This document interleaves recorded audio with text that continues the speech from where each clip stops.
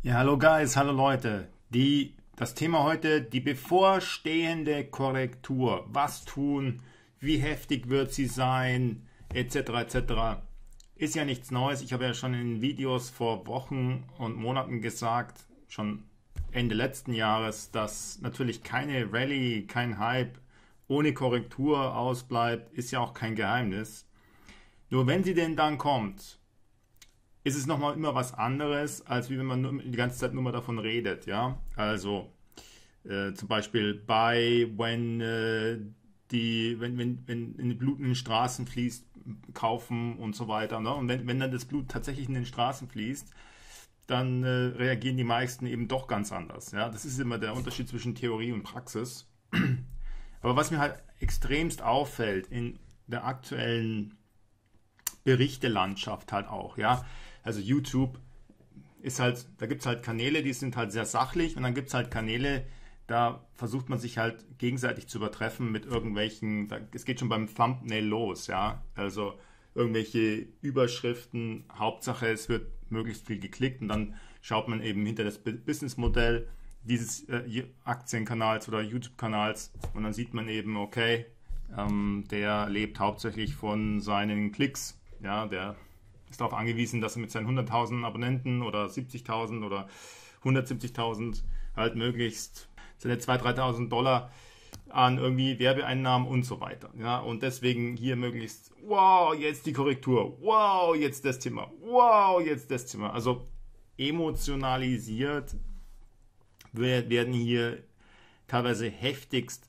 emotionalisiert, werden hier halt eben sozusagen kleine Mikroereignisse und alles Mögliche und das ist letztendlich auf der einen Seite, ich habe ja selber eine Marketingagentur, allerdings ähm, spezialisiert auf IT-Firmen, also eine, eine, ziemliche Spezialsache. Ne? Also ich mache also nicht irgendwelches Marketing, sondern einfach sehr, sehr hoch spezialisiert, hochgradig. Und es gibt natürlich auch Marketing für, sagen wir mal, für diese ganze Finanzbranche und ich habe da auch größtes Verständnis dafür. Nur für die Anleger ist es halt wichtig, dass sie ruhiges, ruhiges Blut halt bewahren, ja, dass sie sich nicht immer zu emotional mitreißen lassen. Auf der einen Seite sind da teilweise, also ich rede hier immer nur von einem Teilausschnitt von Kanälen, ja, manche nicht, manche schon, manche mehr, manche weniger, aber will gleich noch ein paar nennen, die ich sehr gerne anschaue und die ich auch äh, ruhigen Gewissens weiterempfehlen kann. Eine davon ist zum Beispiel der Börsenpunk, der leider halt nur immer so alle ein bis zwei Wochen eine Show hat, aber die Show hat es halt dann auch. Ja, ich meine zum Beispiel der Börsenpunk und äh, die kennen mich nicht. Ja, ich beurteile es nur. Ich habe den einfach vor ein paar Jahren im Internet gefunden und ich glaube ziemlich von der ersten Folge an. Und ich schaue mir auch nicht, äh, ich habe auch dann irgendwann erst realisiert, das ist ja gar keine eigene Firma, die, die gehört ja irgendwie zum anderen Magazin dazu, ich glaube Aktionär oder so ähnlich. Äh, und die haben ja auch ganz viele andere Firmen. Also das ist gar kein eigener Aktienkanal, ähm, YouTube-Kanal. Aber egal. Ich hoffe, die nehmen es mir nicht übel, ähm, dass ich halt hauptsächlich nur den Börsenpunk schaue, ähm, ab und zu auch mal was anderes. Aber ähm, der, der macht halt irgendwie eine Show alle zwei, drei Wochen und in dieser Show ist so immens kompensiert, auf kompensierte Art und Weise, also so viel Wissen, geballtes Wissen, innerhalb dieser paar Minuten, wo diese Show läuft. Das sind ja teilweise nur 20 oder 10 Minuten oder sowas. Und also dazu vielleicht irgendwann nochmal mehr, aber das sind halt, sagen wir mal, äh, absolute Mehrwertshows. Ja, und dann hast du halt andere Aktienkanäle, wo halt sozusagen die halt, sagen wir mal, ja, jedes, jeden Tag halt zwei Videos raushauen und eben mehr auf diese Clickbait-Geschichte gehen und äh, einfach auch den Hals nicht vollkriegen mit ihren Abonnenten. Ja, also die haben dann schon 150.000, wollen halt dann nochmal mehr und so weiter. Auf jeden Fall gibt es da sehr, sehr große Unterschiede. Und was hat das Ganze jetzt mit dieser Korrektur und so weiter zu tun? Ja klar, denn die nutzen, es ist schon wieder so fucking heiß hier, das ist so Wahnsinn.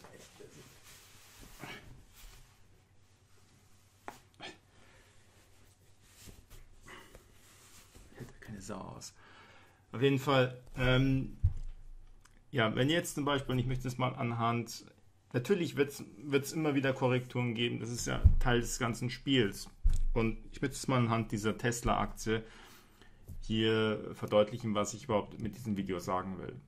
Ich habe ja euch schon beim letzten Mal zum Thema Tesla-Aktie und ich habe ja auch davor schon einige Tesla-Aktien-Videos und Short-Squeeze-Videos und alles Mögliche zum Thema Tesla schon vor ein, zwei Jahren ähm, immer gemacht.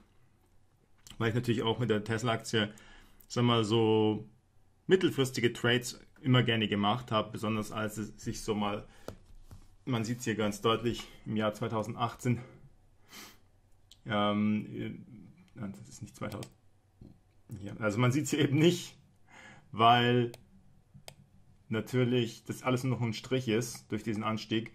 Aber in dieser ganzen Phase hier 2018, 17, 18, 19, da ist eben die Tesla-Aktie damals immer dazwischen, sagen wir mal, 160 Dollar und 400 Dollar immer so hin und her geschwankt letztendlich im, in, in Abständen von wenigen Wochen oder Monaten so eine Art Range. Ja, und dann hat man immer eben, habe ich ja immer ganz gerne unten halt gekauft und dann oben wieder verkauft und ähm, und da ist halt dann so, dass, dass letztendlich auch während dieses Prozesses, wenn du jetzt sagen wir mal auf 160 gekauft hattest damals äh, bis hin zu 400, das ja nicht steil, so steil nach 400 gegangen ist, sondern es war auch so, dann ist es halt von 160 mal wieder auf 200 gegangen, 220, von 220 auf 300 damals halt, ja, immer damals und dann von 300 wieder auf 250 oder was und dann von 250 auf 360 oder so. Das heißt, während dieses Anstiegs von 160 auf 400, wo letztendlich dann sozusagen das Verkaufslimit war oder sowas in der Richtung, und deswegen bin ich auch häufiger ausgestoppt worden, als ich dann sozusagen gesagt habe, okay, ich sichere jetzt meine, äh, meine Stops ab, meine, meine Gewinne ab und so weiter. Das Dilemma habe ich euch letztes Mal schon erklärt. Und also keiner weiß die Zukunft. Ja, hätte ich gewusst, dass, dass die Tesla auf 2000 Euro geht, dann hätte ich natürlich da gar nichts gemacht, hätte einfach nur gehalten. Aber ja, also das ist halt sozusagen aber nur um das raus. Du hast in, in jeder, in, in, jeder in jeder Anstiegsphase einer Aktie hast du immer Rücksetzer und desto volatiler, desto höher die Chancen, desto höher sind diese, diese, diese, diese Rücksetzer, ja. Und ich meine, ich, zum Beispiel Bitcoin ist ja das aller, allerbeste Beispiel dafür, ja. Also du hast halt, also ich glaube, es war äh, letztes, letzte Woche irgendwann, da habe ich zum Beispiel in, für 2000 Euro eine Kauforder reingesetzt bei, bei Bitcoin, als sie also sozusagen diese Rücksätze hatten. Und dann hat es diese Kauforder gezogen. Ja, also Bitcoin ist irgendwie um 15 oder 20 Prozent runter. Und hat es diese Kauforder gezogen und war noch am, dann war ich noch am gleichen Tag wieder 10 Prozent im Plus. Also das, das ist halt sozusagen das Extrembeispiel von, von dem, was ich hier erzählen möchte. Und wenn du jetzt mal dein Portfolio anschaust. Das ist alles rot. Und du bist noch nicht so lange dabei. Und das ist eben auch ein Video für die Leute, die noch nicht so lange dabei sind. Und es gibt dann eben ganz, ganz viele, die noch nicht so lange dabei sind. Also ich sehe das auch immer in meinen Kommentaren in, von, von also mal bei der Gazprom-Aktie, wie ich die Videos gemacht habe. Da waren einige Kommentare dabei von Leuten, die halt einfach erst vor kurzem sich für das ganze Thema Aktien interessieren. Und die, die haben halt die Erfahrung noch nicht, dass sie sagen, naja, ähm, jetzt kommt die Korrektur, jetzt muss ich verkaufen oder sowas. Und das hier gilt halt einfach eine Regel, die ich dir halt mitgeben möchte, wenn du halt da noch nicht so lange dabei bist, weil ich es ganz genau weiß, dass das, das kommen wird, dieser Gedanke. Wenn nicht jetzt schon letzte Woche, Ende, Ende letzte Woche, dann wahrscheinlich nächste Woche oder übernächste Woche, wenn die Korrektur noch ein bisschen heftiger wird oder werden sollte, dass du dir die fragst, oh, jetzt muss ich, jetzt muss ich das verkaufen, muss meine Gewinne absichern, darf nicht hergeben und so weiter. Das ist eine Frage, die du dir da ganz klar, klipp und klar beantworten solltest. Ähm, wenn ich eine Aktie gekauft habe und die ist jetzt 100% im Plus und jetzt geht dir plötzlich ähm, meine Buchgewinne, sind 100% und die geht jetzt in der Korrekturphase, sagen wir mal, ganz heftig wieder runter bis auf 20 oder 10% von meinen Buchgewinnen ja, und ich das nicht aushalte, warum habe ich dann die Aktie überhaupt gekauft? Ja, also das ist nämlich ein, ein Prüf, eine Prüfung deiner ursprünglichen Entscheidung, die Aktie überhaupt gekauft zu haben. Wenn du natürlich einfach nur eine Aktie gekauft hast, und da stellt sich eine, da trennt sich nämlich die Spreu vom Weizen. Wenn du nämlich nur eine Aktie gekauft hast, rein zum Zocken, du kennst dich mit der Aktie gar nicht aus, du weißt gar nicht, was die, was, was die Firma macht oder Du hast eigentlich überhaupt keinen Grund, außer dass sie steigt aktuell heftig und hast nur deswegen die Aktie gekauft, ja, dann wirst du nämlich in diese Bredouille kommen, an dir zu zweifeln, an deiner Entscheidung und wirst höchstwahrscheinlich zum genau falschen Zeitpunkt die Aktie verkaufen und in zwei, drei Monaten steht sie dann 300% höher. Ja, und das ist eben sozusagen mein, meine, mein, ähm, meine Empfehlung an dich, eben keine Aktie zu kaufen, nur aus zum Rumzocken.